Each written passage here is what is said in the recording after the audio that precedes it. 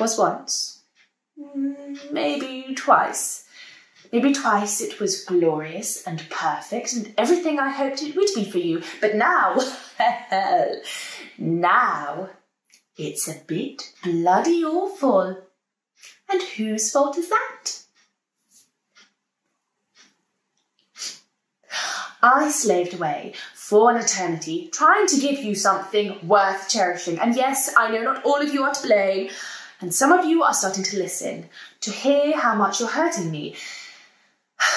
But it is not making a difference fast enough.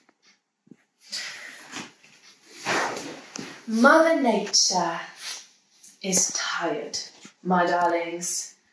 Tired and disappointed. You've treated me like a rag doll, flailed me this way and that, wanting more for yourself and taking for granted the pleasantries I put out day in and day out.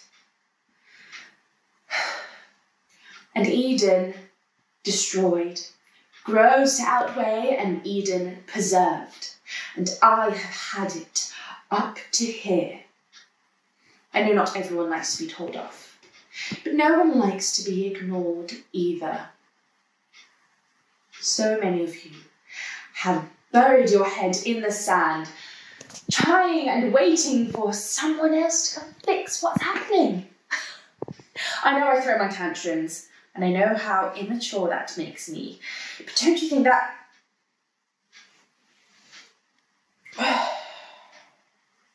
For goodness sake.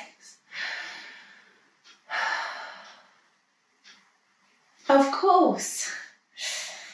Another forest fire.